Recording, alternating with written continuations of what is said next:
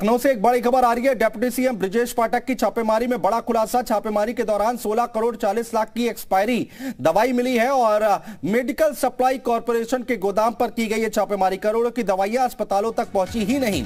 करोड़ों की दवाइयाँ गोदाम में रखी, एक्सपायर हुई। मेडिकल कॉरपोरेशन ने दवाएँ अस्पताल नहीं भेजी। डिप्टी सीएम ने दिए जाँच के आदेश। डिप्टी सीएम ने मौके पर वीडियोग्राफी कराई और डिप्टी सीएम ब्रिजेश पाठक ने डॉक्यूमेंट जब्त किए हैं। डिप्टी सीएम ब्रिजेश पाठक ने तीन दिन में जाँच रिपोर्ट तलब की है।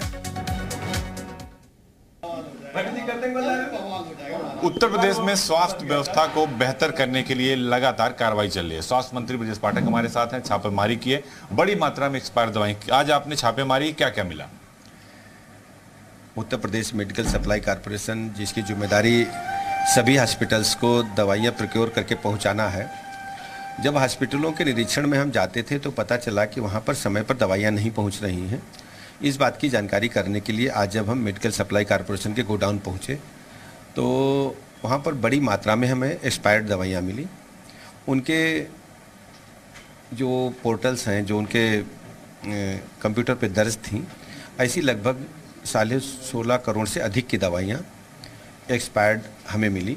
फिर जब हमने एक एक दवाई का निरीक्षण किया तो बड़ी संख्या में दवाइयाँ थी। सभी के सैंपल को एकत्र कर लिया गया है और हमारे साथ जाँच में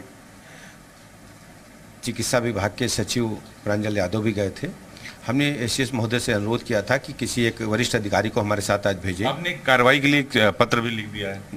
जाँच के लिए। सुबह एसीएस महोदय से हमने कहा था कि हमें किसी बड़े काम पर जाना है। ऐसे किसी व्यक्ति को भेजिए जो जानकार हो विभाग का।